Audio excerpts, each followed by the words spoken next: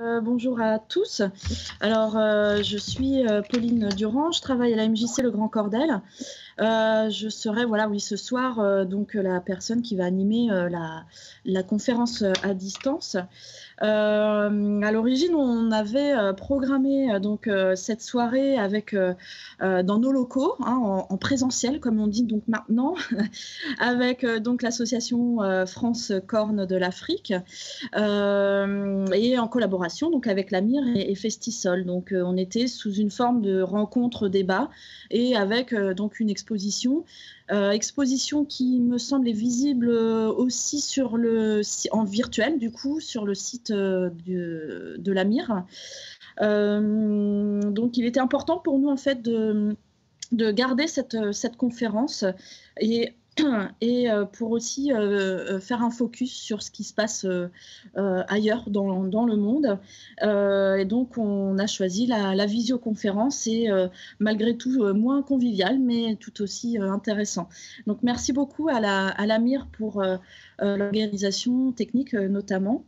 Donc, cette soirée va se dérouler de la façon suivante. Elle va, elle va se dérouler en trois parties. La première partie, ça sera la présentation de la géographie euh, de la Corne de l'Afrique et du climat euh, par euh, Franck Baraer. Euh, on aura une petite pause. Ce sera aussi l'occasion euh, de, répondre euh, par la suite, après la pause, donc aux questions que vous aurez indiquées dans l'espace chat. la, deuxième partie, sera avec Yvon Logia et sur la question de l'invasion des criquets. On aura une petite pause également, puis on répondra aux questions. Euh, et en dernière partie, enfin, donc ce sera Ahmed Abdiali, euh, Abdilahi, pardon, excuse-moi Ahmed, euh, qui nous parlera des peuples et de, la Corne d'Afrique et, des enjeux géopolitiques et aussi du conflit au, Tigré. Et par la suite, on aura des, questions. on répondra aux questions. Voilà, je vous souhaite une bonne soirée. À tout à l'heure pour la petite partie pause questions. Je laisse la parole donc à Franck.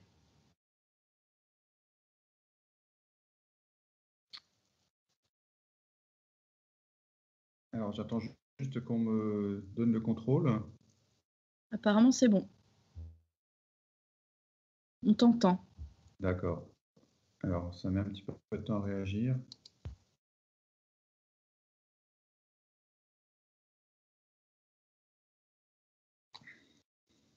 Voilà, le programme de la soirée, donc, euh, comme tu le disais, euh, moi je vais parler de, géographie euh, physique et de climatologie. Ensuite, Yvon va nous parler de l'invasion des criquets et Ahmed finira par les enjeux géopolitiques et le conflit au Tigré. Ah, il y a un décalage dans le, passage. Voilà, donc la, la, de l'Afrique dont on va parler, c'est une zone vaste et complexe hein, qui s'étend sur plusieurs, plusieurs milliers de kilomètres. Donc vous avez ici une carte hein, du pays, le, plus grand pays de la zone, c'est l'Éthiopie, euh, avec 108 euh, millions d'habitants, donc c'est un des pays les plus peuplés d'Afrique. Deuxième pays, la Somalie, qui s'étend le long des côtes du nord de l'océan Indien, un pays très aride et euh, avec un contexte politique très, très particulier. le petit pays, petit par la taille, Djibouti, qui compte à peu près un million d'habitants et un pays assez, assez nouveau, hein, qui a quelques, quelques années ou quelques dizaines d'années d'existence, c'est l'Érythrée, tout au nord, euh, tout au nord de l'Éthiopie. Donc on voit déjà sur cette carte qu'on a, on a le relief qui est très important. On va y venir euh, juste après, à la fois dans la géographie physique et dans le, climat de la, zone. Alors je vais passer à une carte, la carte suivante. Voilà. Donc on fait un zoom sur l'Éthiopie et c'est au plateau. Hein. Donc l'Éthiopie est un, pays très très montagneux. Vous avez ici sur la carte plusieurs sommets qui, qui dépassent les 4000 mètres. Hein. Donc on a une vaste zone ici qui est, constituée de hauts plateaux et de sommets très très élevés. Euh, autre élément important de la géographie, c'est la, fameuse grande vallée du Rift hein, qui s'étend ici entre les, deux, massifs montagneux. Et ici, euh, une particularité géographique de la région, c'est ce qu'on appelle une dépression en, géographie. Hein. Donc là, c'est la dépression de Danaki, euh, qui est une zone qui est très basse, hein, puisqu'elle est située à moins 100 ou moins 200 mètres par rapport au niveau de la mer. Donc c'est vraiment une particularité euh, locale hein, qui n'existe pas, beaucoup dans, le monde. Alors dans cette vallée du Rift, pour la petite histoire, c'est là qu'on a retrouvé le, squelette, que Yves Coppens a retrouvé le squelette de notre ancêtre Lucie. donc pour montrer un petit peu que cette zone, c'est aussi quelque part le berceau de l'humanité. Alors l'autre élément important de, la région, c'est évidemment quand on a du relief, et on va voir tout à l'heure des précipitations assez fortes, hein, surtout tous les massifs euh, de l'Éthiopie, on a des, grandes rivières. Donc euh, le Nil, hein, qui est ici au nord, euh, qui, s'écoule vers l'Égypte et qui a deux affluents, le Nil blanc, qui prend sa source dans les, lacs d'Afrique centrale, et le Nil bleu, hein, qui, si on le suit en remontant vers l'amont, il prend sa source en plein cœur des montagnes de l'Éthiopie. Et le long de ce Nil bleu, donc l'Éthiopie, qui on le verra tout à l'heure avec Ahmed, qui est un pays en, développement, euh, euh, est en train de terminer la construction d'un gigantesque barrage, le barrage de la Grande Renaissance, qui se situe à peu près par ici, sur la carte, donc qui profite de, tout euh, le Nil bleu qui descend des montagnes. Donc ce, ce, barrage aura à terme une puissance de 6000 MW, soit l'équivalent de six réacteurs nucléaires. Donc c'est absolument gigantesque en termes de production d'électricité et euh, ça va révolutionner un petit peu toute la, question énergétique sur toute, cette partie du continent africain. Donc aux dernières nouvelles, euh, là vous avez une photo du barrage il y, a, un an ou deux qui était encore en construction. Aux dernières nouvelles, le barrage est quasiment fini et il y a déjà 750 euh, MW en fonctionnement. Donc le barrage fonctionne à peu près à 15% de, de, sa puissance nominale. alors c'est pas sans poser des problèmes parce qu'évidemment en faisant un, tel barrage et en, constituant une réserve d'eau, euh, l'Éthiopie modifie le, euh, cours euh, et le débit du Nil bleu, hein, qui après va alimenter le Soudan et l'Égypte. Donc il y a eu quelques tensions avec, ces deux pays là. donc il y a des accords internationaux qui ont été conclus pour faire en sorte que la construction du barrage ne perturbe pas trop l'écoulement des eaux en direction du nord, qui sont des zones très arides. Alors on va passer maintenant euh, à la climatologie de la zone, vous allez voir qu'elle est très diverse et variée. J'attends que la diapositive s'affiche, c'est un petit peu long. Excusez-moi pour ce petit dysfonctionnement.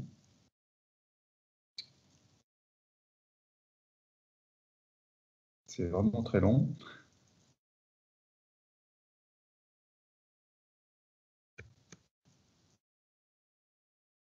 Voilà, j'arrive plus à avancer. Euh.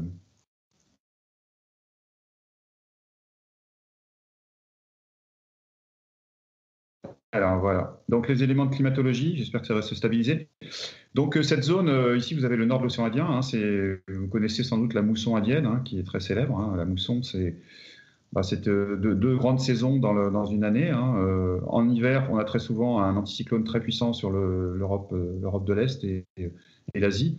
Euh, notamment ça va jusqu'à la Sibérie. Donc cet anticyclone va, diriger un flux, un courant de, nord-est avec des, vents qui descendent, qui sont secs, qui descendent du continent euh, indien, du subcontinent indien, et qui vont donner, amener un air très sec hein, sur toute, euh, toute, cette partie de, l'est de l'Afrique.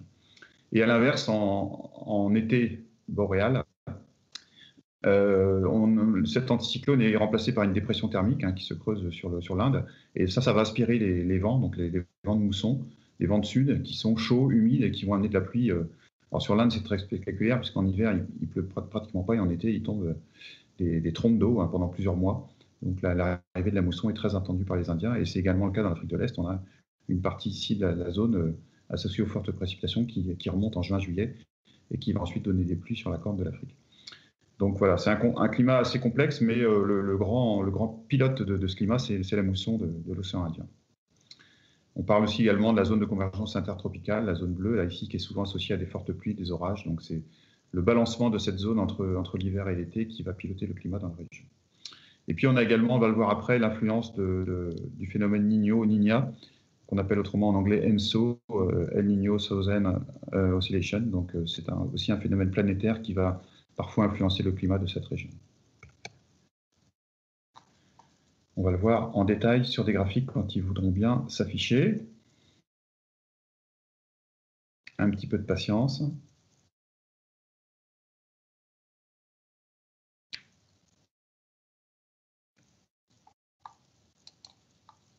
Décidément, c'est pas très pratique la technique. voilà.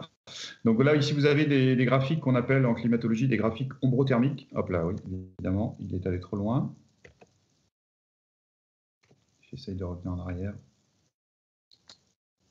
Je crois que ce n'est pas une bonne idée, hein, ce partage. voilà, donc diagramme en gros thermique, donc ça, nous décrit un petit peu tout au long de l'année, du mois de janvier au mois de décembre, l'évolution des précipitations et ici l'évolution des températures en rouge. Donc les pluies sur Addis Abeba, dans le centre de l'Éthiopie, qui est vers 2000 mètres d'altitude, elles sont très marquées en été. c'est en parallèle avec ce que je disais tout à l'heure. Hein.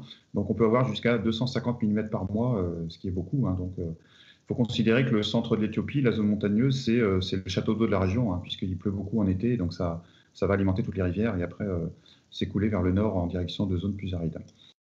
À droite, Djibouti, alors c'est pas la même échelle, hein, il ne faut pas confondre évidemment la hauteur de pluie, parce qu'à Djibouti, euh, pendant les mois d'été, ici, c'est à peine 50 mm de pluie par mois, donc c'est un climat aride ou semi-aride.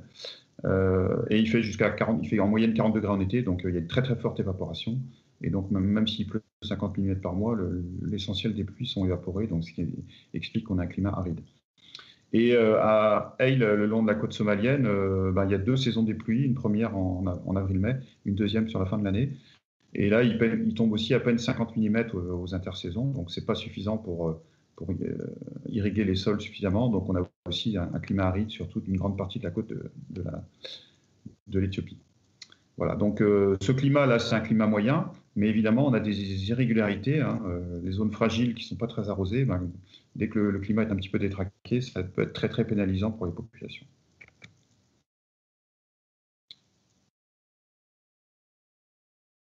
Je vous demande quelques secondes de patience. Voilà. Donc euh, le, phénomène qui impacte beaucoup le climat de la région, c'est le phénomène euh, Niño-Niña. Donc qu'est-ce que c'est en quelques mots? C'est une irrégularité atmosphérique hein, qui se reproduit en moyenne tous les 2 à 5 ans et qui va durer quelques mois. Donc là, le, phénomène est enclenché cette année, cette année, on va le voir tout à l'heure, et c'est un phénomène qui va durer en général de novembre à mars. Donc ce phénomène euh, planétaire a une grande influence sur tout le, tout le Pacifique Sud, et également jusqu'à l'océan Indien, également sur certaines zones d'Amérique du Nord, et parfois sur la corne de l'Afrique. Alors ce phénomène climatique, euh, cette anomalie climatique est facilement prévisible maintenant. Donc quelques mois à l'avance, on sait si on va être plutôt dans une année à type Niño, une année type Niña, ou une année neutre, puisque ça arrive. Euh, donc, quand on a il y a un indice qui est calculé, bon, je ne vais pas m'étendre là-dessus parce que c'est un peu compliqué à expliquer. Donc, c'est une anomalie de température hein, sur la surface de l'océan Pacifique. Donc, quand cette anomalie est positive, on est dans un phénomène Niño avec certaines conséquences planétaires. Quand on est euh, indice négatif comme cette année, on a d'autres conséquences hein, qui peuvent être très différentes selon les régions. Mais cet indice, il est souvent neutre, c'est-à-dire la plupart des années sont euh, ni Niño ni Niña. Donc euh, en 2019-2020, bon, pour la petite histoire, il y a eu une, autre oscillation, parce qu'il y a beaucoup d'oscillations dans l'atmosphère qui pilotent le climat, qu'on appelle euh, le, dipôle de l'océan Indien, qui a donné des fortes pluies sur la corne de l'Afrique.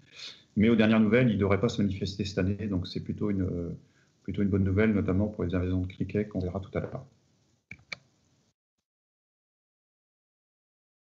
Je vais passer donc à la description euh, sous forme de carte de ce phénomène Nino Nina et de son influence sur la région. Donc là, vous avez plusieurs graphiques. En haut à droite, c'est la prévision de l'indice pour les, mois euh, jusqu'en février 2021. Donc on voit nettement qu'on aura un indice négatif cette année, puisque le zéro est ici. Donc on a une, euh, on a une, très forte suspicion d'avoir un phénomène Nina cette année. Ici, c'est l'historique des phénomènes Nino-Nina depuis très très longtemps, depuis une centaine d'années, puisqu'on arrive à estimer cet indice euh, même dans le passé. Voyez qu'il y a des années où le Nino est très fort, des années où le est très, fort, et puis des années où c'est presque neutre. Donc euh, cette année, on va être dans, du bleu assez marqué. Ce qui est intéressant, c'est de regarder à l'échelle planétaire euh, quelles sont les conséquences en termes de climat. Donc ici, ce sont des cartes d'anomalies de précipitation à gauche associées au phénomène Nino et à droite associées au phénomène Nina. Donc on voit que pour le phénomène Niño, ce qui est le plus marquant, c'est l'anomalie de pluie sur toute la, zone euh, tropicale du, Pacifique et également des sécheresses en Australie et sur l'Asie du Sud-Est, donc qui sont très marquées, qui peuvent être associées à des incendies de forêt. Sur la corne de l'Afrique, c'est souvent associé à des précipitations un peu plus fortes que la normale, et puis une sécheresse assez forte sur toute l'Afrique de l'Ouest. Donc cette année, on est plutôt dans le phénomène inverse, le, phénomène Niña. Donc on, les, on, constate déjà qu'on a des fortes pluies hein, sur toute l'Asie du Sud-Est et jusqu'à l'Australie, euh, qu'on a un temps très sec sur le, Pacifique équatorial, de très fortes pluies sur l'Amazonie. Et puis vous voyez que si on regarde vraiment ce qui se passe sur la corne de l'Afrique est ici, ben, quand on a un phénomène linéaire, on n'a pas vraiment de, conséquences climatiques particulières. C'est neutre, hein, c'est dans le gris, le gris pâle. Et à contrario, euh, on s'attend à une saison, euh, un hiver assez pluvieux hein, sur toute l'Afrique de l'Ouest et la zone tropicale. Voilà, donc c'était pour un peu illustrer les, phénomènes planétaires et les conséquences qu'elles peuvent avoir sur la, perturbation du climat dans certaines zones du globe et notamment sur la Corne de l'Afrique. Alors j'approche de la fin de ma présentation.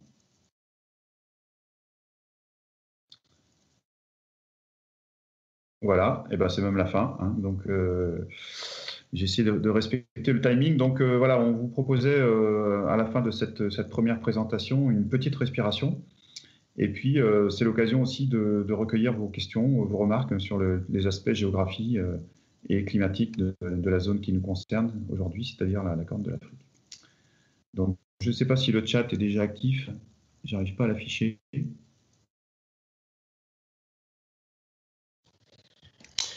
Alors, Franck, le chat, le ah. chat est, c'est une bulle de discussion qui se trouve à côté des participants, de, l'icône participant.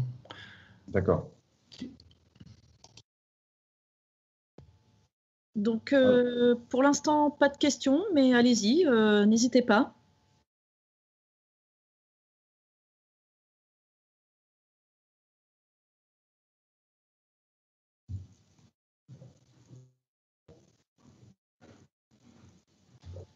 Est-ce que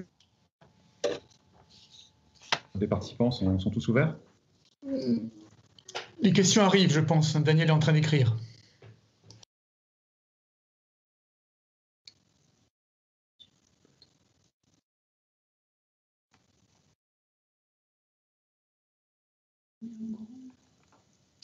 C'est bon, Franck, tu les as les Non, non, je ne vois pas, je vois pas pour l'instant. Alors, quels sont les pronostics climat dans les 20-30 ans?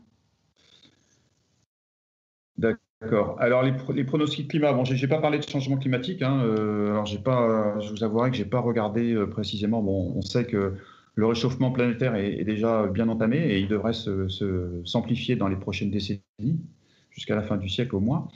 Euh, j'ai pas, pas scruté exactement ce qui se passe dans la région, mais ce qu'on peut, ce qu'on peut dire, c'est que en, termes de température, la hausse de température, elle s'observe déjà sur l'ensemble du globe. Elle est un peu plus marquée sur les zones arctiques que, sur le reste du globe, mais globalement, euh, ça chauffe partout. Euh, donc ça va, ça va chauffer, ça va continuer à chauffer, y compris dans la Corne de l'Afrique, dans les prochaines décennies. Euh, alors les zones comme les zones arides, hein, comme Djibouti ou la côte somalienne, qui sont déjà fragiles parce qu'il y a une très forte évaporation et assez peu de précipitations, bah, vont continuer certainement à souffrir de, ce climat aride. Euh, ça ne devrait pas s'arranger à l'avenir. Après, je n'ai pas, pas examiné de près au niveau du régime de précipitation sur les, hauts plateaux de l'Éthiopie, mais euh, il pleut déjà beaucoup. Alors, euh, quelles pourraient être les conséquences s'il se mettait à pleuvoir un peu plus Ça, c'est un petit peu difficile à dire sans avoir examiné les choses de près. Mais ce qu'on peut dire aussi également sur ce, sujet-là, bah, j'en ai, parlé un petit peu tout à l'heure, hein, c'est sûr que le, le, changement climatique ouvre une période d'incertitude hein, pour l'ensemble du globe. Donc les zones euh, euh, favorisées au niveau économique, comme l'Europe par exemple, euh, auront sans doute les moyens de s'adapter au changement. Par contre, les zones qui sont déjà fragiles, notamment la Corne de l'Afrique, auront beaucoup de difficultés à, s'adapter au changement parce que le changement, il se produira, ça c'est indéniable. À la fois en termes de type de culture, en termes de, de mode de vie, il, y aura, forcément des adaptations nécessaires et c'est clair que les pays riches auront plus de facultés à s'adapter que les pays pauvres. Voilà ce que je pouvais dire sur la question. Merci. Une autre question. Quel phénomène, marquant relève-t-on dans cette région? Alors les phénomènes marquants, euh, ben, il y a des périodes de sécheresse, il y a des périodes de fortes pluies comme l'année dernière. Hein. L'hiver 2019-2020 a été très très pluvieux, avec des conséquences notamment en termes d'invasion de criquets. Euh, ce qui est moins connu aussi, c'est que la Corne de l'Afrique peut parfois subir des, cyclones tropicaux ou des tempêtes tropicales. Donc c'est des phénomènes qui, sont assez rares, mais qui se produisent, on va dire, une année sur trois ou une année sur quatre. Donc c'est le paradoxe, hein, ces, tempêtes tropicales, elles vont amener beaucoup de pluie en très peu de temps. Euh, il arrive qu'elles touchent notamment, la côte de, Somalie. Donc c'est vraiment euh, pas de chance si on peut dire, hein, puisque c'est des zones qui sont très arides et qui euh, d'un coup voient arriver une tempête tropicale qui va donner 200, 300, 400 mm de pluie en, un jour ou deux. Donc ça va complètement submerger toutes les, zones qui sont habituellement très sèches. Hein. C'est pas des pluies bretonnes qui sont également réparties dans le temps, mais c'est vraiment un déluge qui s'abat euh, en quelques jours. Et, et euh, ça arrive pas souvent, heureusement, mais ça arrive quand même tous les, tous les 2-3 ans en moyenne. Voilà un petit peu les phénomènes extrêmes qu'on peut connaître sur la région. Alors les sécheresses, il y en a aussi eu par le passé, hein, notamment dans les années 80, je crois qu'il y avait eu plusieurs périodes de sécheresse. Donc même si c'est une zone qui est, globalement arrosée, je parle surtout de l'Éthiopie, il peut aussi y avoir des, des périodes de sécheresse sur l'Éthiopie. Une autre question, est-ce que les pluies ravinent complètement les, les sols tous les ans? C'est une bonne question, mais alors ça, j'avoue que mes connaissances de la région sont, sont pas suffisantes pour, vraiment y répondre. Hein, donc, euh, ça, ça dépend du, type de sol, ça dépend de la pente, ça dépend du, régime de précipitation. Donc, euh, euh, il y, a des zones qui sont forcément très très arrosées et d'autres qui le sont beaucoup moins dans, cette, vaste zone qui nous intéresse aujourd'hui. Donc, je suis désolé, mais je ne peux, pas, je peux pas aller plus loin que dans l'explication.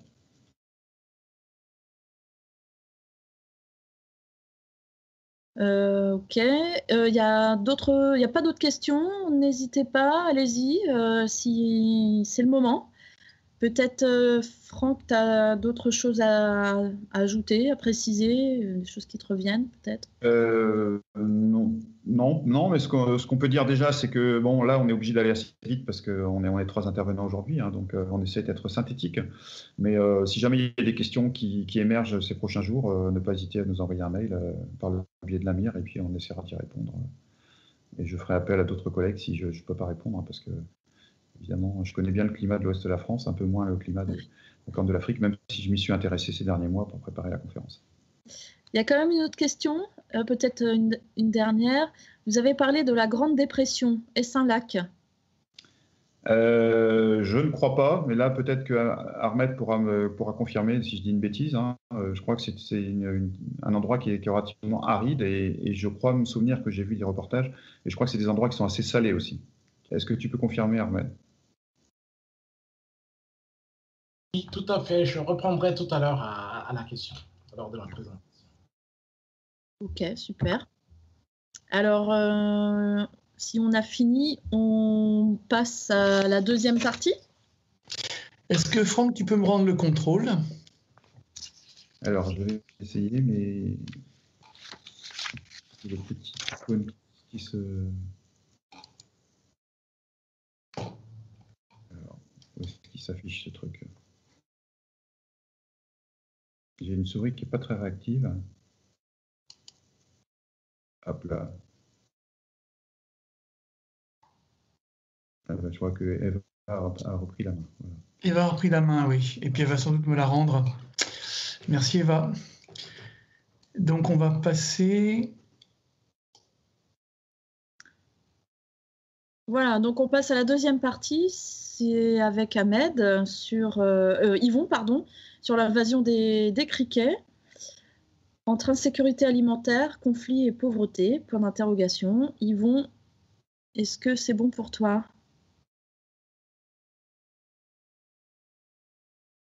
Faut que tu actives ton micro. Voilà. Euh, ah voilà, super. Michel, tu peux prendre l'image si tu veux.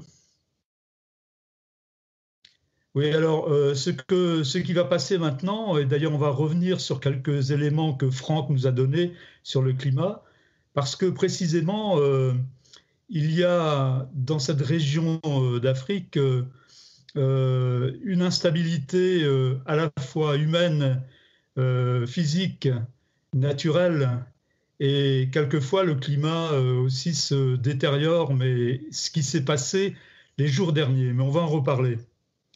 Donc, je signale quand même que tout ce que vous allez voir comme document dans mon passage là, je l'ai emprunté à une association qui s'appelle euh, euh, Passion Entomologie et qui m'ont donné le pouvoir sur euh, toutes les réflexions qu'ils ont faites depuis janvier dernier, où les premiers criquets commençaient à arriver.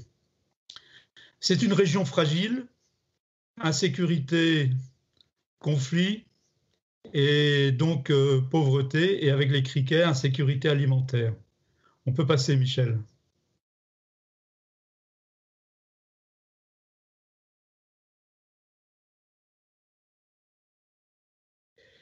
Ici, euh, j'ai voulu vous montrer euh, justement à partir des renseignements que j'avais de la FAO, du site de la FAO et puis de, de hum, Passion Entomologie, deux colonnes.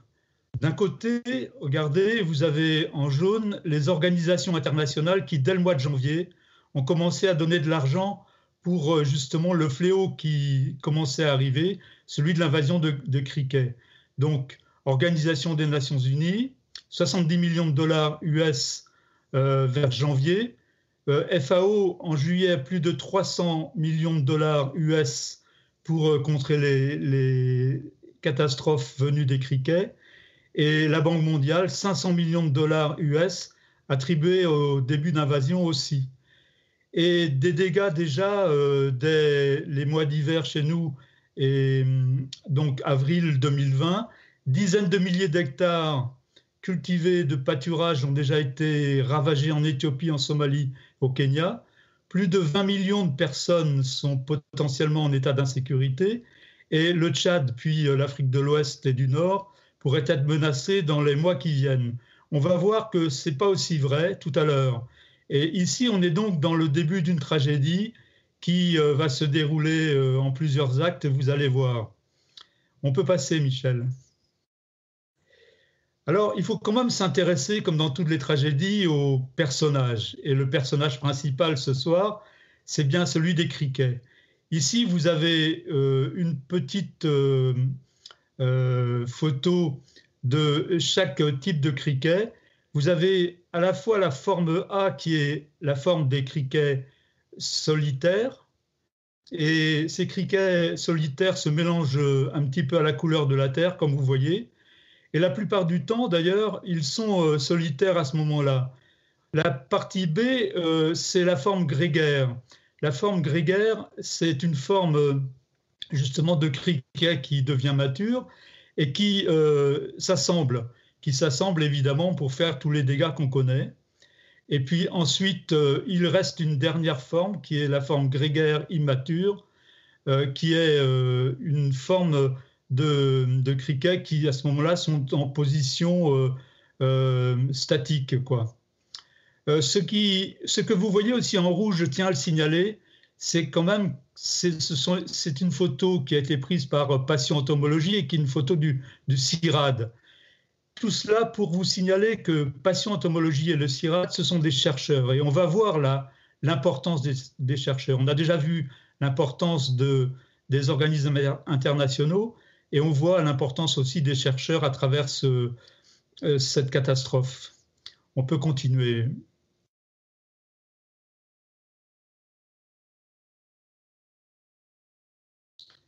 Michel, si tu peux, dès que tu peux. Oui, c'est fait depuis longtemps, mais ça met du temps à arriver, visiblement. Oui. Alors regardez donc euh, ici euh, l'importance des chercheurs. Excusez la carte qui est un petit peu déformée, mais ça c'est pour les besoins du PowerPoint. Euh, les aires principales de répartition des criquets. Alors vous avez en rouge les, les aires d'invasion qui sont possibles, disons, quand il y a des invasions. Vous voyez tout ici euh, les pays euh, les plus à l'est vers euh, l'Afghanistan même et l'Iran, et puis l'Afrique du Nord et l'Afrique subsaharienne en rouge aussi. Et ces, zones-là peuvent être atteintes par les criquets. De même que, quelquefois, je l'ai appris d'ailleurs, l'Europe peut être atteinte aussi par des, invasions de criquets, et dans le sud-ouest de la France même, dans les années 47-49, dans ces zones-là, euh, il y a eu une grosse invasion de criquets euh, dans le sud-ouest. Euh, il y a aussi des aires de rémission. Alors les aires de rémission, elles sont en vert, vous voyez là. Elles sont désertiques, semi-désertiques, et les criquets solitaires s'y mettent. Et puis ensuite, des aires de grégarisation, c'est-à-dire où les criquets se rassemblent par petites troupes mais c'est à partir de là que peuvent venir des, invasions, euh, puisque c'est à partir de là que les larves vont se, développer. Je vous rassure tout de suite, je ne suis pas un spécialiste du cricket ni un spécialiste de sciences naturelles, mais j'ai beaucoup appris en, en, essayant de comprendre un petit peu ce phénomène-là, et ça m'a bien intéressé de voir comment euh, ce pays d'Afrique, ces pays d'Afrique, sont dans, dans des catastrophes permanentes. Quand ce n'est pas les criquets, euh, c'est les conflits guerriers. On va en reparler tout à l'heure avec Arnett. et puis, ou bien tout simplement des, des, précipitations très fortes. On peut passer, Michel.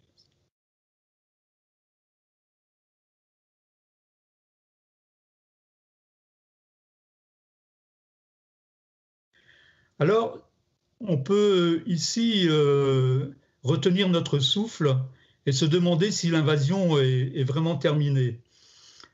Euh, quelquefois, à la suite euh, d'événements climatiques favorables, les jeunes forment des bandes larvaires, les jeunes criquets des, des formes larvaires, et ça ressemble à des gigantesques tapis roulants ou tapis mouvants. ils s'assemblent et il se déplace très très lentement. Mais ça signifie à ce moment-là que c'est le début, euh, début d'une invasion qui peut être beaucoup plus catastrophique. On peut passer.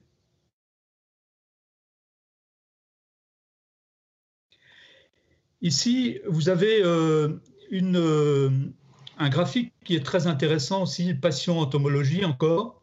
vous avez des pics d'invasion qui sont en rouge. Vous avez en jaune le début et le déclin de l'invasion, et en vert, des périodes de récession. Vous remarquez aussi que euh, les, les... J'ai un petit problème parce que le bandeau en bas me cache un petit peu les années. Euh, je vous explique. En rouge, vous voyez, vous allez jusqu'aux années 1960. Et jusque dans ces années 1960, il y a eu en rouge donc des pics d'invasion, mais très très fréquents et très très proches. Voilà. Et donc, euh, ces pics d'invasion, ils se sont peu à peu arrêtés à partir des années 1960, sans doute aussi parce qu'il y avait déjà euh, des pesticides qui étaient répandus assez fréquemment dans ces zones pour évidemment euh, exterminer les criquets. On reviendra tout à l'heure là-dessus sur le problème de pesticides et sur le problème de la biodiversité, justement. Et vous voyez que jusque ces dernières années, il n'y a même pas de pic rouge et on est dans des débuts d'invasion et un déclin qui est assez rapide. Puis ensuite, des périodes de récession euh, qui sont assez fréquentes. Mais il n'y a pas eu de réelle invasion très forte euh, dans ces dernières années, euh, début du 21e siècle. Donc, on peut passer.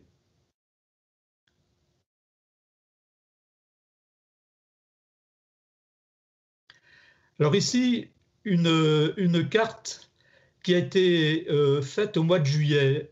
Quand je préparais ce, montage avec euh, Ahmed et, Franck, euh, au mois de juillet, j'avais trouvé cette carte sur patientomologie et vous voyez qu'ils ils envisageaient à ce moment-là, les chercheurs, que, étant donné les phénomènes climatiques, comme l'expliquait Franck tout à l'heure, sans doute les invasions qui allait pouvoir se produire de criquets allait aller vers euh, l'Afrique de l'Ouest.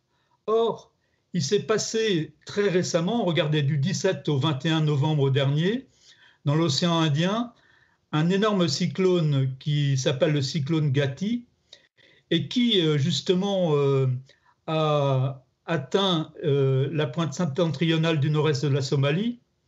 Donc, vous voyez la pointe ici, là, euh, et qui a fait que l'invasion de criquet n'est pas allée vers euh, l'Afrique de l'Ouest, mais on va voir, elle a stagné sur, euh, sur, les, sur les zones de, de la, pointe, la corne de l'Afrique.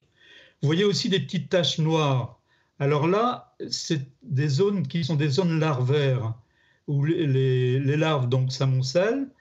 Et puis vous avez aussi des zones un petit peu plus rouge, où quelquefois vous avez des, des essaims qui commencent à se former, et c'est là que peut se passer euh, euh, une invasion assez, assez terrible. On peut continuer, si tu veux, Michel.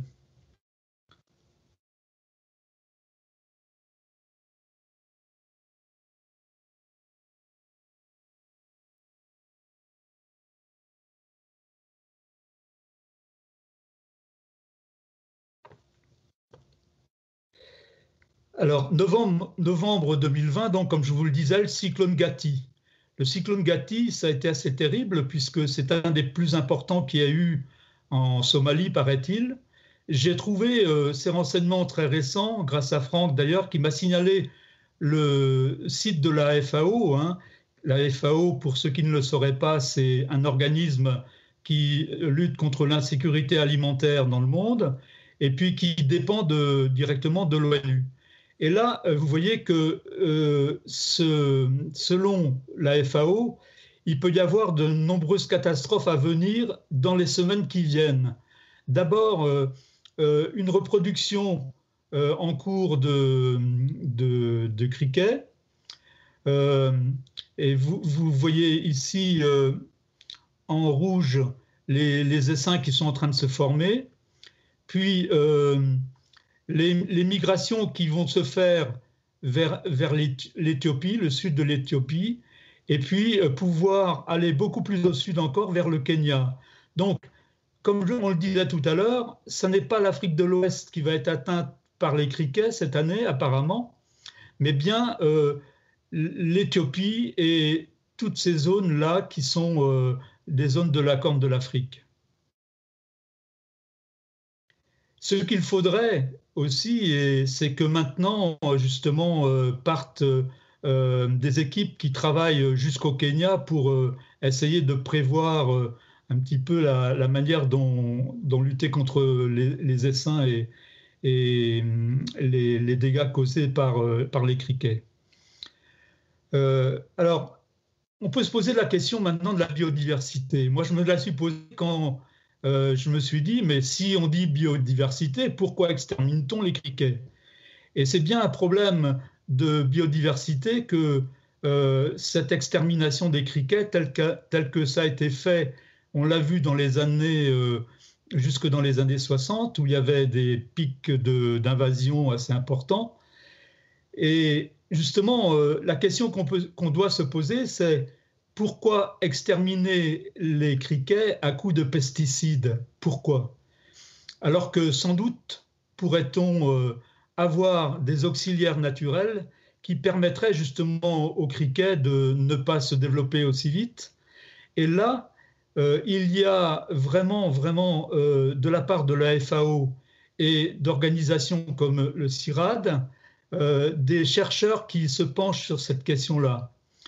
Euh, il faut euh, donc prendre la FAO comme un organisme international qui dépend de l'ONU et prendre ces organisations internationales comme des alliés en quelque sorte et non pas comme des, euh, des organisations qui ne servent à rien. Il faut, je crois, que la coopération internationale prenne conscience que ces organisations-là euh, au contraire de ce qu'ont pu penser certains pouvoirs américains récents, euh, sont essentiels à la planète. Euh, et vous allez voir dans la, diapo qui suit pourquoi c'est assez important.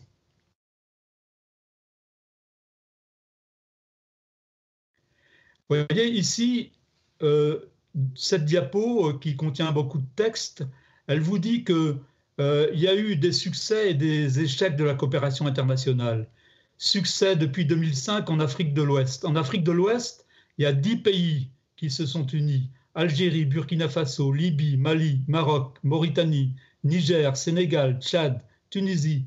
Et ils ont réussi à échanger à la fois des, savants, des équipes qui ont euh, formé donc euh, des groupes de recherche qui ont été relativement efficaces. Au contraire, en Afrique de l'Est, on retrouve euh, des, des, organisations, deux grosses organisations, et qui ne s'entendent pas et qui n'arrivent pas à se joindre. Et cela, euh, dans les périodes comme celle-ci, c'est extrêmement dommageable. Quoi. Euh, donc, pour me résumer, je dirais que il y a ces criquets euh, donc euh, qu'il faut éviter de, d'exterminer à coups de pesticides. Il y a aussi euh, tous ces savants qui travaillent sur des recherches assez importantes pour justement trouver des auxiliaires naturels contre les invasions de criquets. Et il y a ces organismes internationaux dont on ne pourra pas se passer, se passer à l'avenir parce que justement dans ces pays-là, à la fois l'ONU quand on voit que c'est une zone de conflit très très forte, et Ahmed va nous en parler, euh, à la fois donc l'ONU et la FAO ont une énorme importance. À nous aussi d'être vigilants dans nos sociétés pour, pour faire en sorte que on sache les soutenir d'une manière ou d'une autre. Et enfin, là, un petit, un petit, une petite vidéo euh, de passion euh, entomologie. Je pense que je vais arriver à l'ouvrir.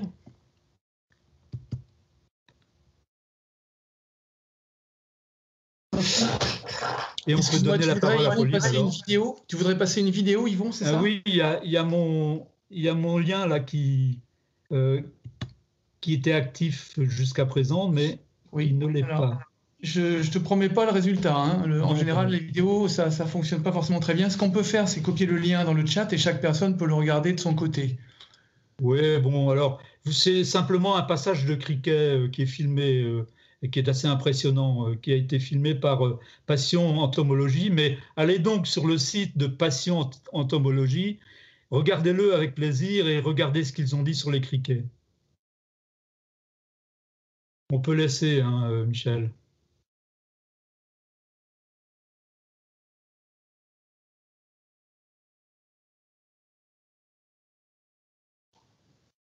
C'est pas un, site très sûr apparemment. Non, ben alors laisse-le, laisse-le, on peut le laisser.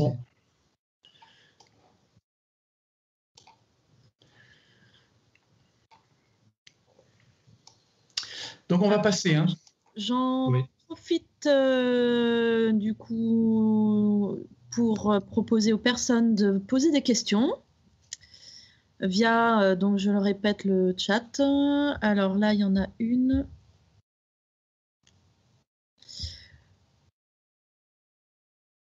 Alors, comment a-t-on eu des succès euh, en 2005 Cela vient-il de l'utilisation des pesticides largement étendus euh, sur les criquets ou sur les larves? Excusez-moi, j'ai eu un petit euh, souci. Oui, justement, le problème, c'est aussi on exterminer les criquets quand il y a invasion, mais aussi on pourrait avoir des moyens beaucoup plus euh, plus humble, disons, dans les destructions des criquets, si on arrivait à s'attaquer aux nids de larves. Et ce qui est intéressant, justement, euh, ce que recherchent un peu les, chercheurs de la FAO et d'autres, le CIRAD aussi, c'est d'exterminer de, les larves, donc de prendre les devants, d'avoir des opérations préventives que plutôt des opérations destructives. Alors, je vous rappelle que je ne suis pas un spécialiste de la, gestion euh, des, invasions de criquets, euh, mais euh, voilà ce que je peux dire, quoi. C'est que sans doute, jusqu'en 1960, on a utilisé beaucoup, beaucoup de, on n'a pas utilisé beaucoup de pesticides, pardon, jusqu'à ces années-là, mais ensuite, on en a, on en a utilisé beaucoup de, des années 60 aux années 2000 et ce qui a permis euh, qu'il y ait moins d'invasions, très, très certainement, euh, pendant une, certaine période. Merci. Alors, euh, deux questions. Quels sont les prédateurs naturels du criquet et sont-ils mangeables? Alors, les, les criquets sont-ils mangeables? Oui. Oui, les criquets sont mangeables. Si vous allez en Afrique de l'Ouest, par exemple, vous aurez dans les, apéritifs qu'on vous servira avec du jus de gingembre, eh bien, euh, des criquets grillés à déguster. Euh, ma foi, euh, c'est pas mauvais, c'est ça se mange. Alors, quant aux, auxiliaires, quant aux auxiliaires naturels contre les criquets, je ne saurais pas vous dire quoi que ce soit, mais je crois que les recherches avancent. Mais je n'ai pas trouvé de, de précision là-dessus, à vrai dire.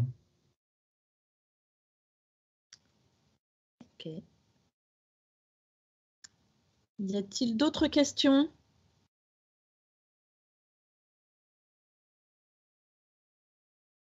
Ou Yvon, Yvon peut-être tu as des choses à rajouter?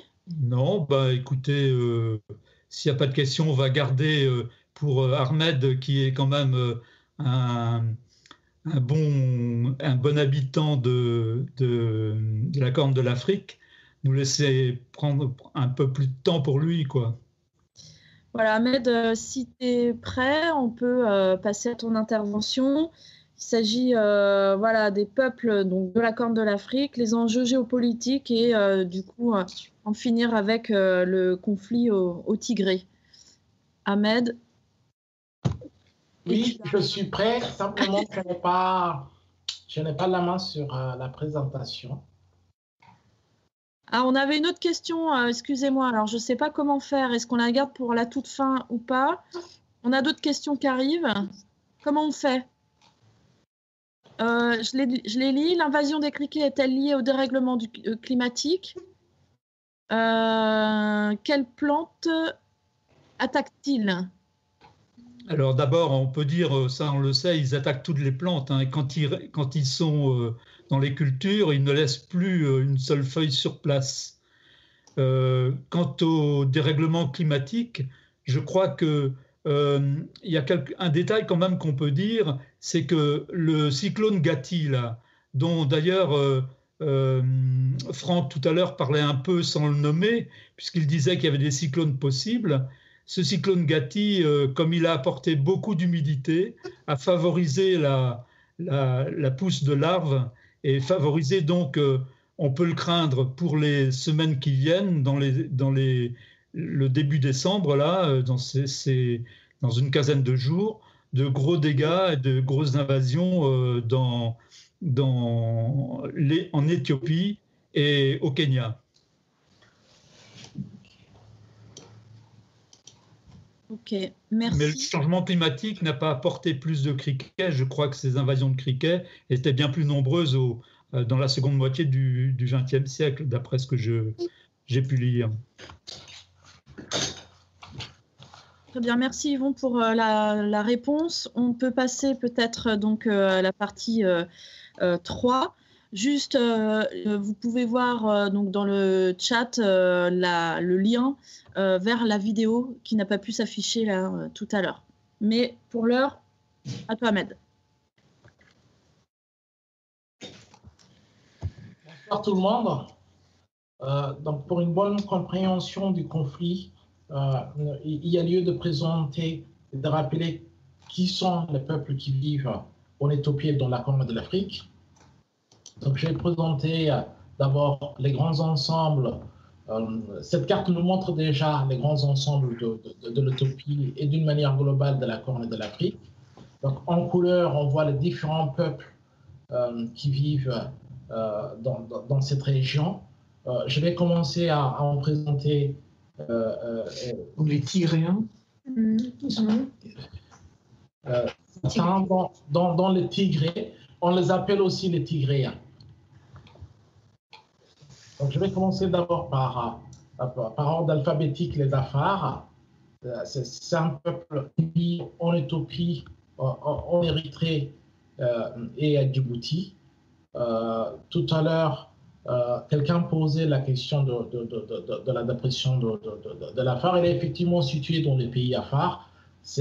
On appelle l'Ertaale, qui, qui, qui, est un volcan en, en ébullition.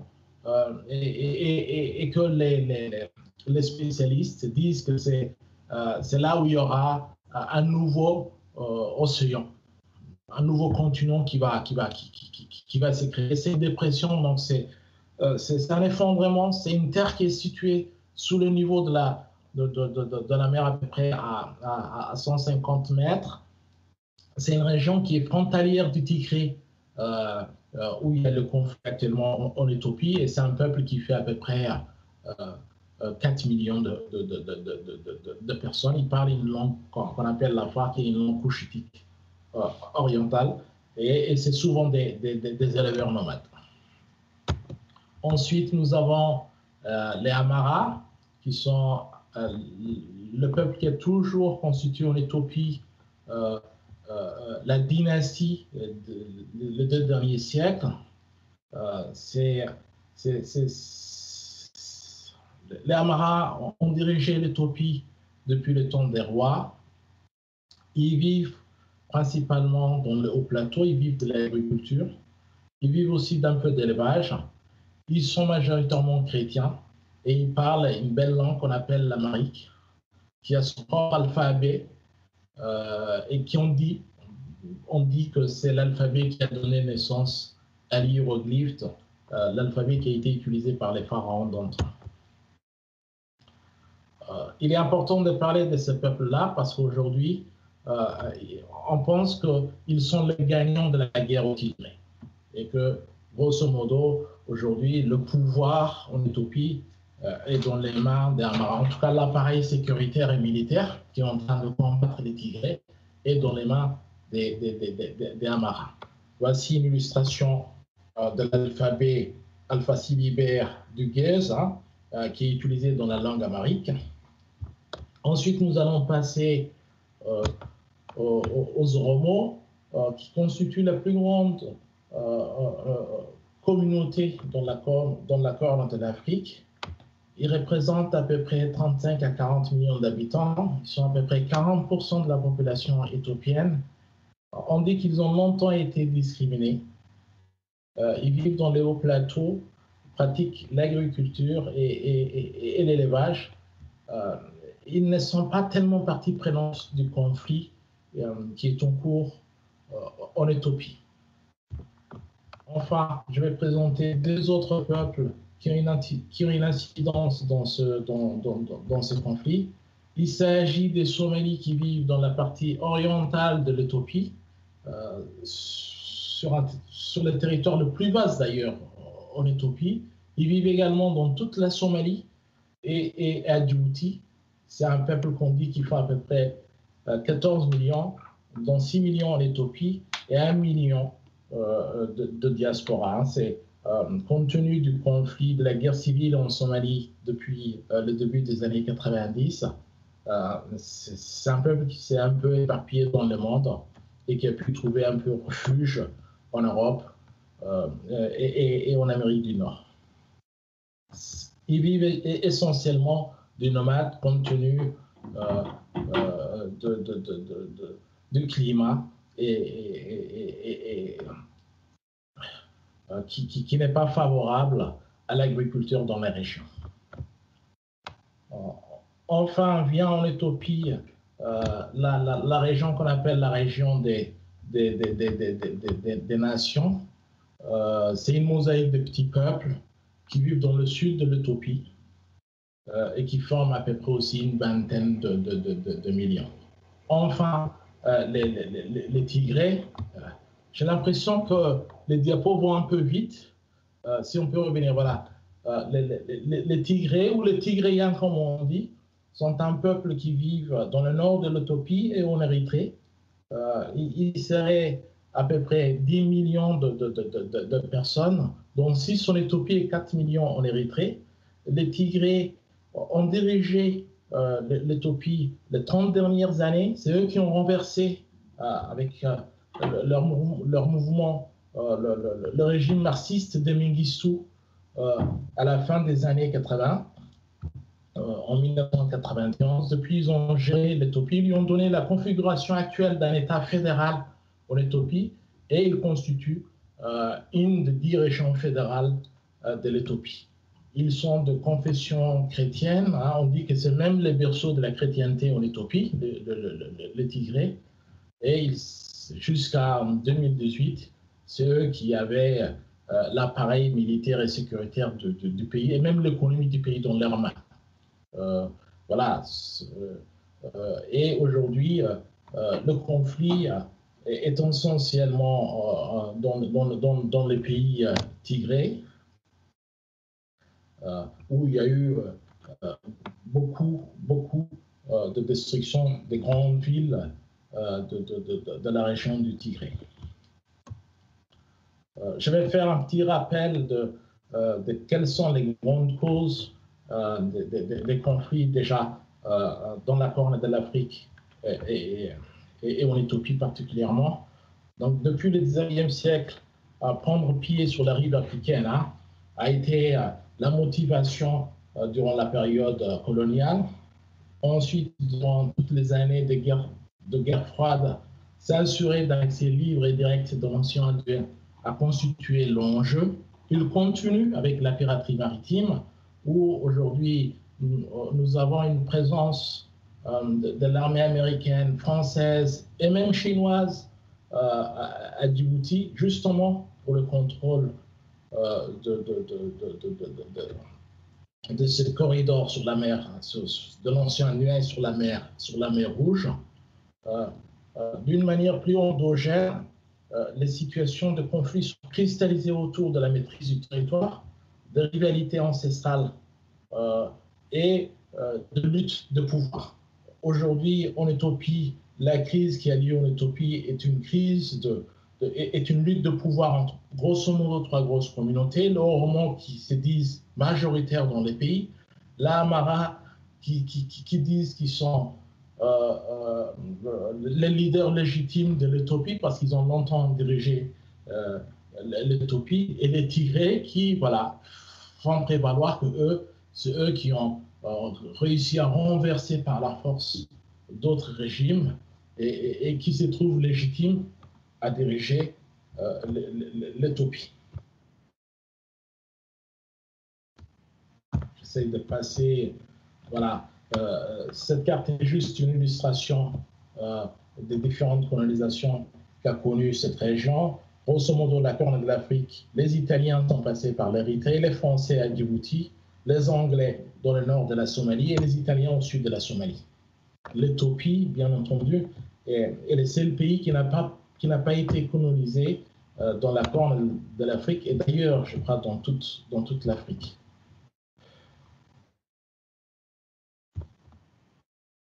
Euh, les conflits récents euh, de, de, 1980 à, à, 2020, la région a connu à peu près cinq ou six grands conflits. la guerre civile en Somalie, en Éthiopie, donc l'arrivée au pouvoir en, 1990-91 euh, du TPLF qui avait renversé le, régime marxiste de Mengistu, puis la guerre avec l'Érythrée en 1998, euh, et la guerre civile aussi au début des années 90 à Djibouti euh, pour l'avènement de la démocratie.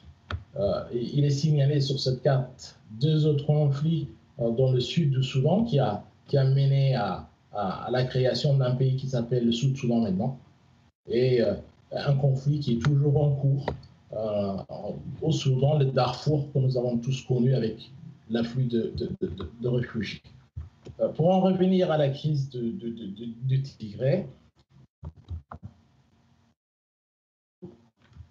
je n'arrive pas à passer à, à la diapo suivante.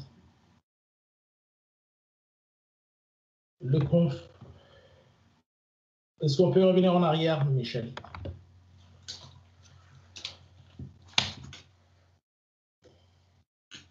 Michel, est-ce que je peux revenir en arrière? Oui, voilà. Le, conflit au, Tigré euh, et, Michel.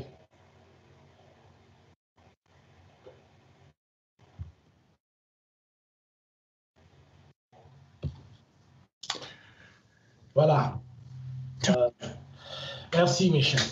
Euh, le, conflit au Tigré est, un conflit qui est issu euh, de, la rébellion qu'on a toujours appelée les TPLF, hein, qui, qui, qui, qui, est une rébellion, un groupe armé qui a été formé au milieu des années 70, d'abord pour renverser euh, le roi et les Sélassiés de l'Éthiopie en 1974. Et quand la junte militaire communiste de Mengistu a pris le pouvoir en 1974, le TPLF est rentré dans les montagnes pour combattre euh, ces euh, marxistes. C'est cette guerre qui avait conduit aux grosses famines que, le monde a connues dans les années 80.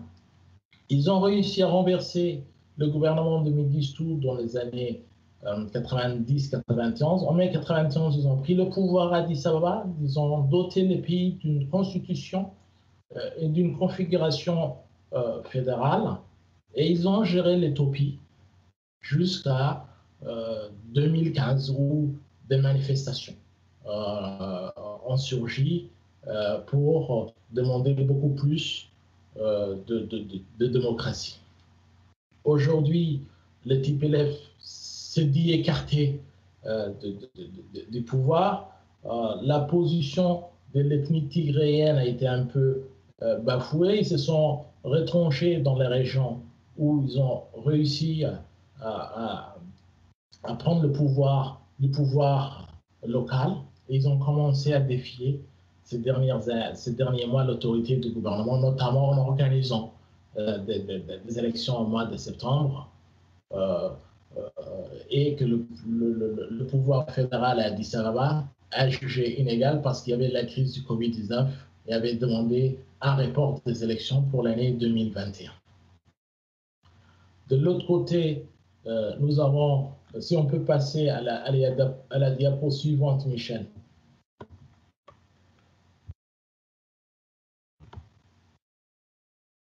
Nous avons le pouvoir central euh,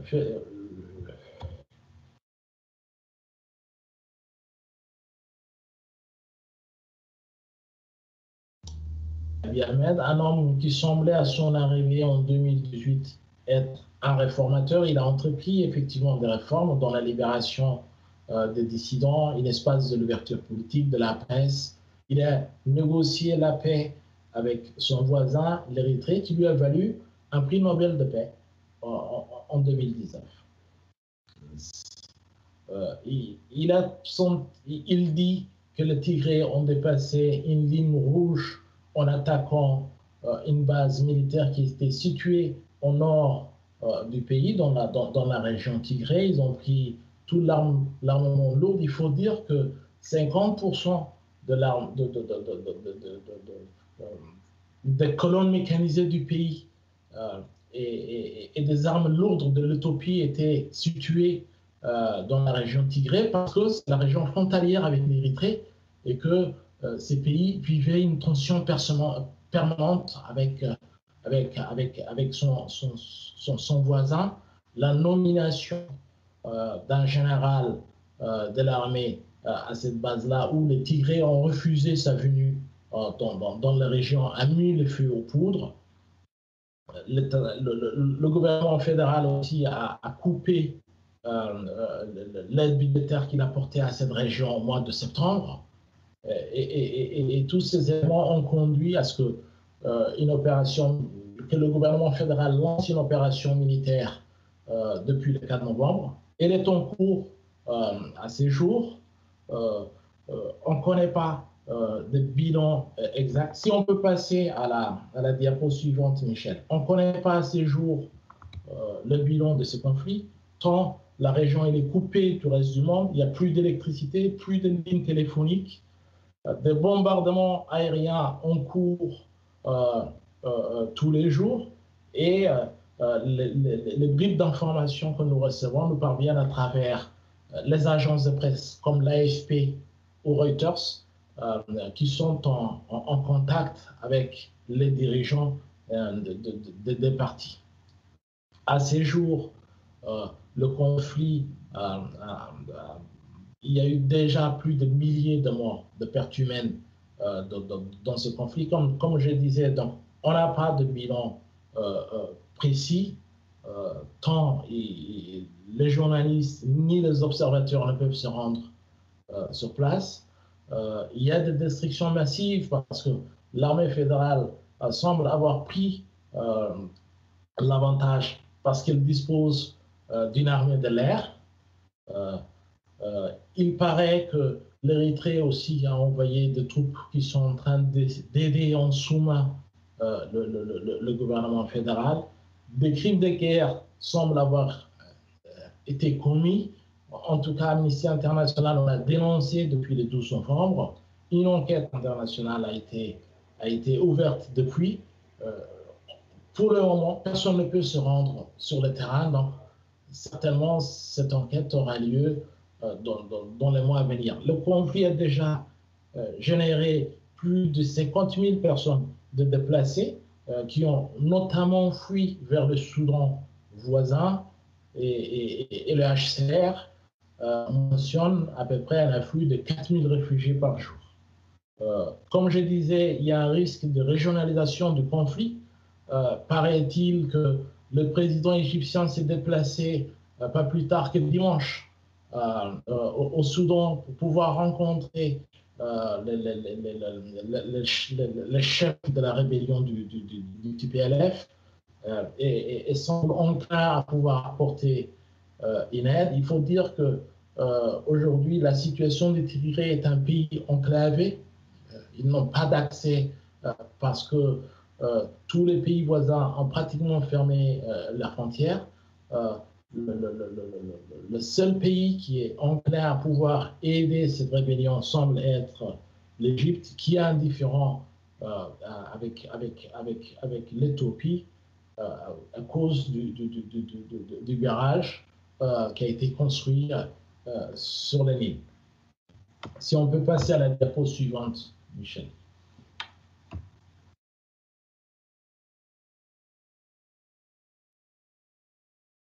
Donc, il y a donc des défis politiques et des défis humanitaires qui se posent euh, d'ores et déjà.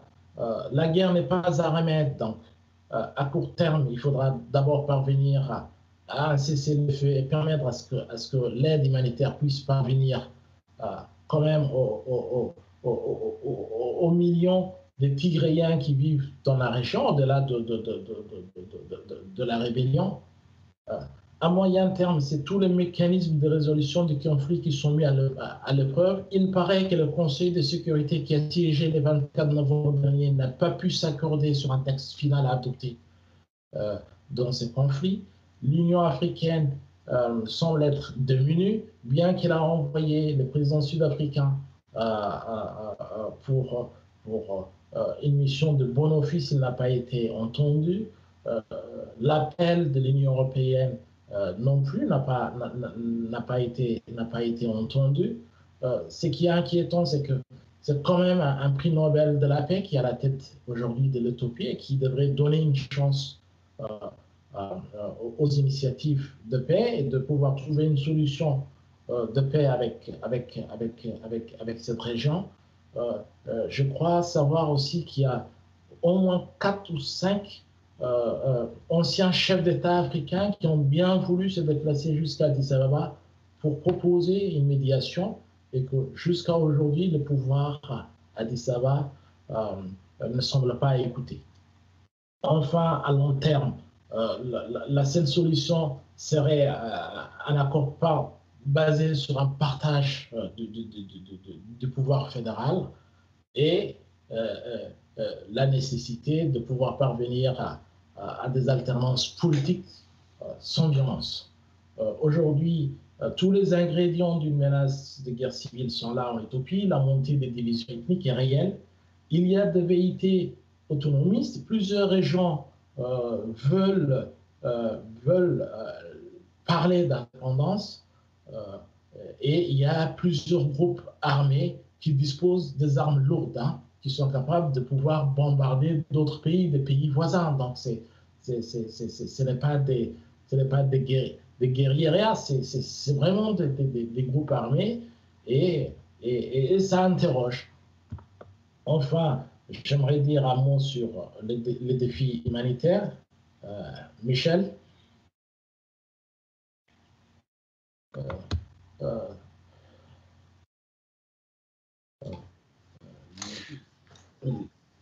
On est sur la diapo les défis humanitaires et de développement.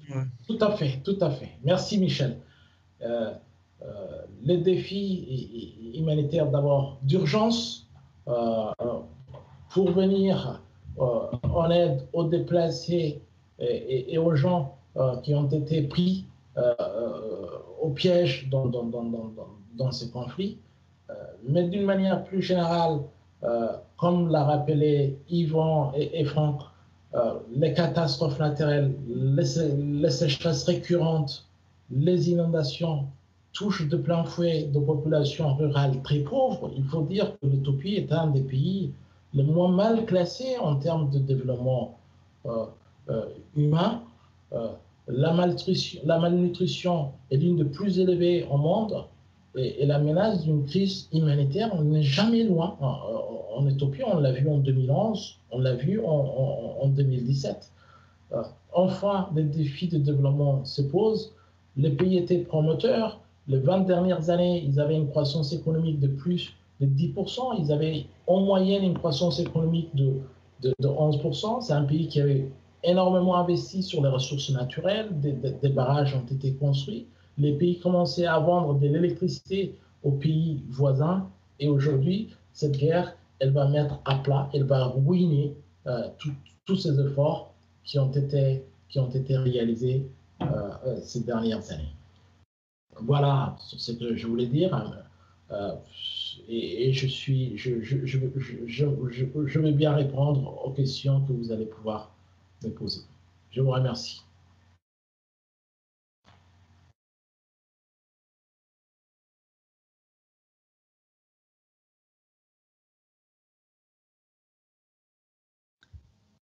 Alors, euh, merci Ahmed. Euh, des questions, il y en a, ça commence, ça vient. Alors, je les prends euh, les unes après les autres. Qui c'est qui arme le TPLF À ces jours, personne. La, seule, la, seule, tentative de pouvoir trouver des armes, elle date du week-end dernier, d'après les dernières informations qui ont été publiées, où le TPLF semble faire appel à l'Égypte, il faut dire que le TPLF a dirigé euh, l'appareil sécuritaire et militaire de l'Éthiopie. Donc, ils ont réussi à, construire déjà euh, des, grandes bases dans, dans, les régions. Ils ont même des missiles. Euh, le TPLF a bombardé Asmara, la capitale de, de, à trois reprises depuis le 4 novembre. Donc, c'est des gens qui, qui, se sont préparés à la guerre ils avaient des, armes lourdes. Euh, il, semblerait euh, qu'à peu près les forces du TPLF euh, sont à peu près de 250 000 euh, bonhommes qui sont, qui sont en train de, de se battre. donc, des armes, je crois qu'ils en ont. C'est aujourd'hui plutôt euh, il commence, je crois, commence, il commence à manquer de vivre. Hein. Ça fait maintenant 29 jours que la guerre euh, est en cours euh, dans, la région et ils n'ont aucune, aucune route pour, pouvoir. il paraît que les médicaments commencent à manquer dans, les hôpitaux. C'est plutôt la situation humanitaire qui est inquiétante. Je crois que des armes, ils en ont beaucoup. Merci. Autre question. Donc, euh, cette guerre en Éthiopie, euh, quels impacts peuvent-elles avoir sur la Corne d'Afrique? Alors, quel impact peuvent-elles avoir sur la Corne d'Afrique en général et sur la question humanitaire en, particulier? Beaucoup d'impacts, beaucoup d'impacts. Euh, comme je vous disais, il y a des informations qui disent que l'Érythrée est rentrée en guerre que des troupes érythréennes sont en train de se battre aux côtés du, euh, gouvernement fédéral. Euh, ça montre que le conflit peut prendre une dimension régionale.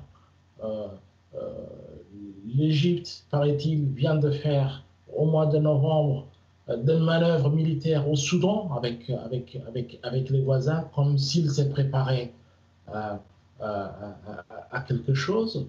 Euh, la situation euh, humanitaire, euh, elle est déjà, elle est, elle est déjà, l'impact humanitaire, il y est déjà. Il y a plus de, les prévisions de l'ONU parlent à peu près de plus de 200 000 déplacés.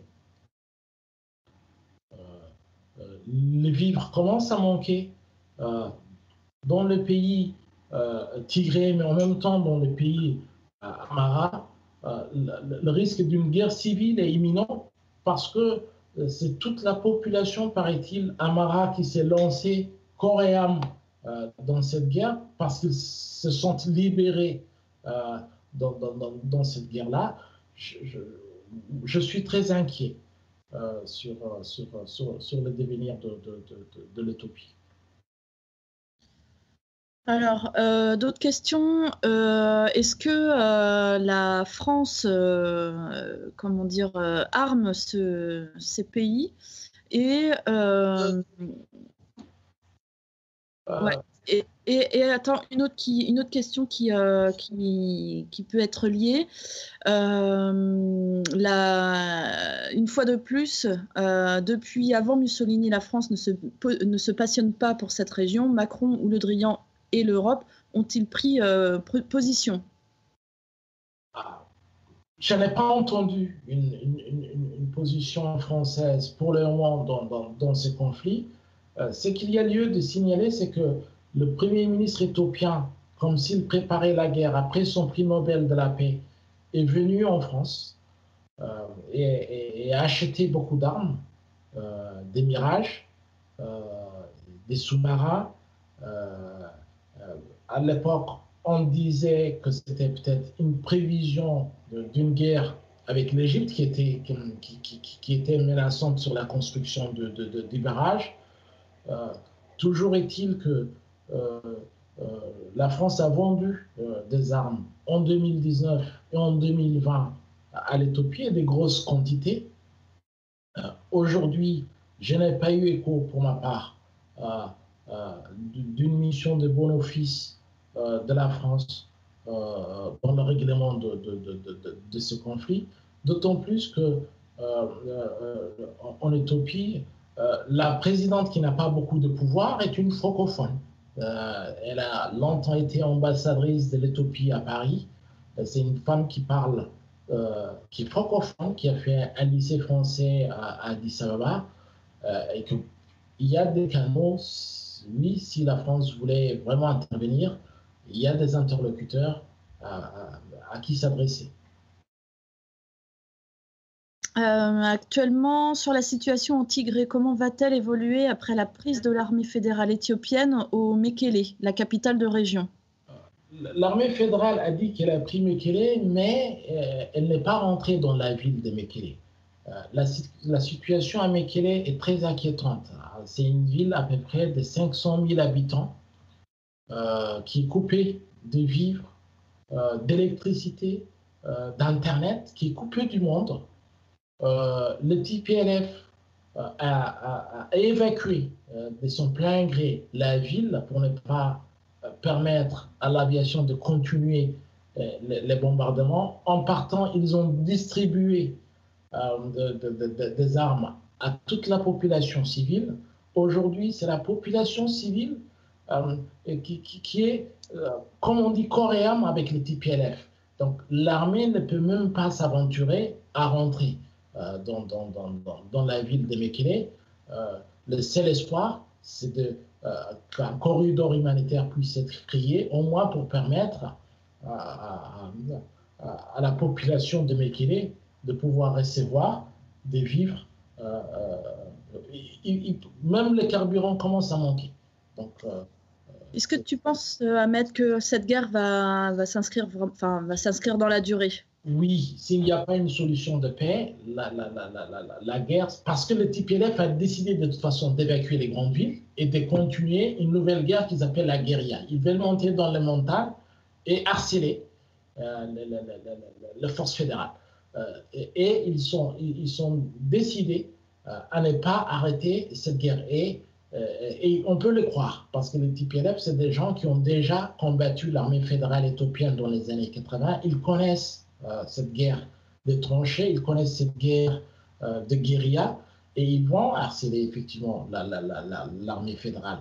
Euh, oui, si le conflit ne trouve pas une solution politique, il risque de perdurer et de faire beaucoup de mal à, l'Éthiopie parce qu'il y a d'autres régions aujourd'hui qui viennent s'inspirer de, Tigré et, et, qui veulent aussi faire prévaloir des revendications. Euh, quelles sont les solutions qui seront prises par l'État fédéral éthiopien pour contrôler euh, et d'éviter la réémergence des milices? Je ne sais pas qu'est-ce qu'ils préparent. Toujours est-il que moi, j'ai le sentiment qu'ils sont plus à l'écoute des États-Unis.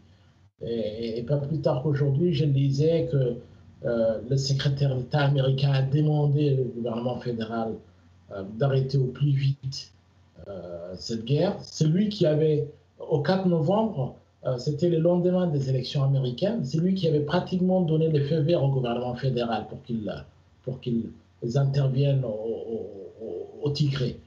Pompeo avait qualifié les TPLF de terroristes et il avait salué l'opération de l'armée fédérale qu'il disait c'était une, opération de maintien de la paix. Aujourd'hui, ils sont les seuls qui sont capables de pouvoir peser pour demander l'arrêt, en tout cas un cessez-le-feu au gouvernement fédéral qui semble avoir pris le contrôle des principales villes de la région du Tigré, euh, afin de permettre aux populations civiles euh, de pouvoir recevoir des vivres et de commencer des négociations pour une solution politique euh, du conflit. Je crois que j'ai répondu à la question. Je pense. Euh, autre question, de quelle manière des bénévoles peuvent-ils les aider? Alors j'espère que j'en ai pas loupé, moi, des questions, parce que c'est allé vite pendant un moment. Donc de quelle manière, déjà on va commencer par euh, celle-ci, des bénévoles peuvent-ils aider? Oui, de toute façon, il y a, des, ONG humanitaires hein, qui, qui, qui, s'intéressent. Euh, donc nous, on va continuer à informer pour pouvoir euh, dire euh, quelles sont les ONG humanitaires qui interviennent déjà euh, sur le terrain. je sais que les diasporas tigréennes en, Europe, en France, un peu partout en Europe, commencent à s'organiser, à faire des rassemblements pour demander à ce que les pays européens puissent s'intéresser à la crise au Tigré. C'est une bonne question. je crois que pour le moment, c'est de regarder à peu près quelles sont les ONG euh, internationales, peut-être Solidarité internationale, peut-être Action contre la faim, quelles sont les, ONG françaises euh, qui ont prévu euh, de, Je sais que ces ONG-là, de toute façon, elles étaient présentes en Éthiopie. Donc, vraisemblablement, une fois que les conditions vont permettre, elles vont pouvoir se rendre sur le terrain pour pouvoir apporter leur aide. Donc, la meilleure manière, c'est un engagement auprès, auprès des ONG euh, internationales françaises. Et les journalistes, j'avais loupé une, question, mais du coup, ça s'intègre bien là. Est-ce que les journalistes peuvent se rendre euh, au Tigré? Pas au Tigré. Euh, ils essaient de se rapprocher. Je vois qu'il y a une journaliste. D'ailleurs, Yvan, tout à l'heure, dans, les diapos d'Yvan, il y avait une photo qui a été envoyée par un journaliste euh, français. Je crois qu'il est, euh, est reporter pour, euh, pour Le Monde, je crois. oui, il y a beaucoup de journalistes français. France 24 est là-bas. Je crois qu'il y a une, correspondante de France 24 qui est à Addis Abeba. les journalistes essayent d'aller au plus près. De toute façon, ne serait-ce que pour alimenter leurs médias. De, ils sont présents à Addis. Je crois qu'il y a euh, ils essayent d'aller au plus près des lignes de front dans, le pays Amara, dans la région Amara, pour avoir le retour, euh, le vécu euh, de, cette guerre. Jusqu'à aujourd'hui, ils ne sont pas autorisés à aller sur, sur, le, champ de, sur le champ de bataille. Mais mm. vraisemblablement, dès qu'il y aura un cessez-le-feu, je suis certain les journalistes pourront avoir accès à la région. Merci. Alors, étant de l'AMIR au nom de la Ligue des droits de l'homme, je viens de constater que le conflit n'y figure pas non plus. Je saisis le président national dès demain. Ne figure pas sur le site de la Ligue, bien sûr. Est-ce que c'est Patrick qui... qui, qui non, c'est Philippe. C'est Philippe Destinville, d'accord. D'accord. Salut Philippe. Alors, donc, il y a d'autres, interventions. L'Éthiopie était une colonie italienne de 1935 à 1941. Euh, il n'y a pas de point d'interrogation, c'est une, une, constatation. Je, ne crois pas. En tout cas, les Éthiopiens sont fiers pour le dire qu'ils n'ont jamais été colonisés. Il y a une tentative, effectivement, euh, des Italiens euh, en, en 1936 euh, de, de, prendre pied en, Éthiopie euh, avec leurs chars. Euh, les Éthiopiens se sont rébellés, si je puis dire, d'une manière où ils sont même très fiers. Aujourd'hui, Adoua, la ville où l'armée italienne a été battue en 1941, est, devenue un lieu, de, commémoration c'est dans la région du Tigré. Et, d'ailleurs, le, TPLF, quand il mobilise ses troupes, ils disent que voilà, eux, ils ont même battu des puissances occidentales et que voilà, c'est pas des armées africaines qui, qui, qui, qui, vont leur faire peur. Donc, oui, aujourd'hui, c'est une fierté éthiopienne de dire qu'ils ont pu battre Mussolini, euh, euh, qui n'a pas réussi quand même à, à, rentrer dans toute l'Éthiopie, mais il y a une présence effectivement italienne de 1936 et 41 en Éthiopie. Ok. Euh, alors, ah bah il n'y a pas d'autres questions. Alors là j'ai une, électricien sans frontières, point d'interrogation. Je pense que c'était quand on parlait de, de du, bénévolat et des différentes ONG qui pouvaient intervenir. Oui, euh, l'électricité a été coupée hein, d'une manière délibérée par le, par le pouvoir euh, central pour ne pas avoir de retour de cette guerre-là. Donc au 4 novembre, quand le, le gouvernement fédéral a lancé cette opération militaire, ils ont coupé toute l'électricité et les lignes de téléphone pour qu'il n'y ait pas euh, Internet, pour que les gens ne puissent pas relater ces conflits-là euh, sur les réseaux sociaux. Euh, il faut dire que l'avantage de, de, de, l'armée fédérale, c'est l'aviation. Donc ils bombardaient et, et, vraisemblablement, ils ne voulaient pas savoir que, que des civils ont péri dans, dans, dans, ces bombardements. Donc, il paraît que la centrale d'électricité euh, qui était située dans le pays Tigré aussi a été bombardée délibérément par l'aviation éthiopienne. Euh, ah oui. oui. donc euh, dès le début du conflit, je crois deux ou trois jours après le, début des hostilités, je crois que le TPLF a fait part que la centrale d'électricité avait été bombardée délibérément par l'armée fédérale. Donc,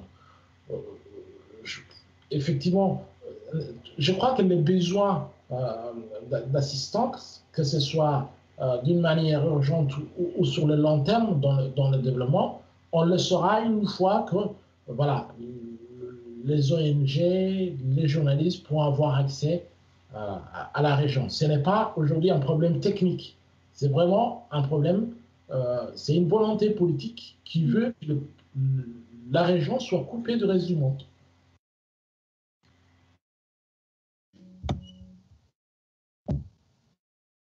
Alors, il n'y a pas d'autres questions. Euh, dites-moi si euh, j'en ai oublié dans le, dans le lot. Bah, j'espère que j'ai été concis et.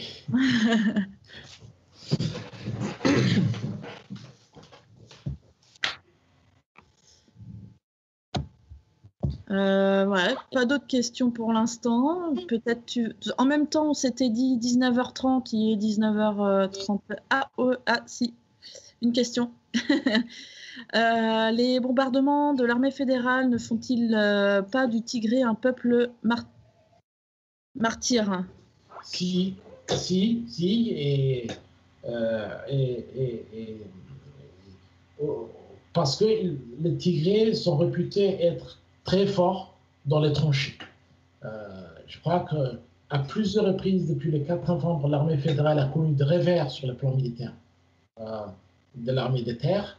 Et, et, aujourd'hui, le fait de les bombarder tous azimuts euh, euh, semble donner l'avantage au, pouvoir, au, gouvernement fédéral. Ils ont fait effectivement euh, des martyrs parce que le, bombardement, quand vous bombardez une ville 24 heures sur 24. Hein, il paraît que les bombardements de, la région du Tigré sont, sont, très lourds et que toutes les 10 minutes, apparemment, d'après certaines informations, toutes les 10 minutes, il y a des raids.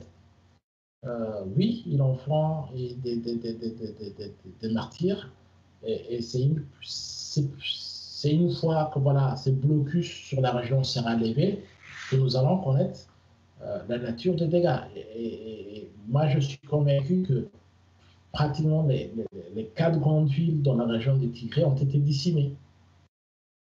sans parler de pertes humaines euh, à ces bombardements.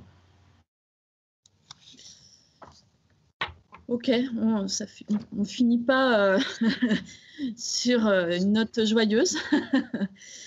C'est un conflit. Comment? Je disais, c'est un conflit, donc ah un conflit n'est jamais joyeux. Donc. Euh, alors, euh, donc euh, peut-être, voilà, comme je disais tout à l'heure, on avait imaginé une fin plutôt vers 19h30, donc on y est. On a, alors, merci à tous, c'était une conférence très bien faite et très informative, super, Philippe. Et euh, ah, alors, euh, on a des questions encore quand même. Alors, merci. Ah, il y en a là. Mille milliards de merci. Merci pour cette conférence très intéressante. J'ai appris beaucoup de choses. Mais on a aussi une, petite dernière, question. Quel serait le sort des dirigeants fugitifs euh, du Tigré à long terme? On se dit que c'est la dernière question? D'accord. Le, pouvoir fédéral, et notamment le Premier ministre Abiy Ahmed, en lançant cette opération le 4 novembre, avait dit devant l'Assemblée nationale éthiopienne euh, qu'une de l'objectif de l'opération était d'arrêter euh, les dirigeants du TPLF et de les traduire devant la justice. Euh, je crois que c'est des gens résignés qui ne vont pas, qui ne vont pas se rendre. En tout cas, pour le peu que je le connais, c'est des gens qui vont jamais se rendre. Et vraisemblablement, et vraisemblablement, je crois qu'un accord politique sera trouvé qui leur permettra illimité. Ils vont jamais se rendre c'est vraiment le Tigré est un peuple très fier. Euh, euh, c'est des combattants. Euh, et, je ne suis pas sûr qu'aujourd'hui l'armée éthiopienne soit en mesure d'aller les chercher dans les montagnes. Déjà, les, soldats qui sont, qui sont sur le terrain de l'armée éthiopienne, ils sont démoralisés. Et, et, et les TPLF lancent des informations pour dire que chaque fois qu'il y a un soldat étranger qui est venu sur leur territoire, il n'est jamais réparti vivant. Donc, euh, euh, euh, je ne crois pas, je ne crois pas qu'on va pouvoir les arrêter. Je, je, pense, je penche plutôt vers la solution où il y aurait une amnistie à leur égard. Maintenant, leur destin politique, la question de leur destin politique se pose. je crois qu'ils seront écartés de, la politique et des affaires et de la région et de l'utopie, même si un accord politique était trouvé.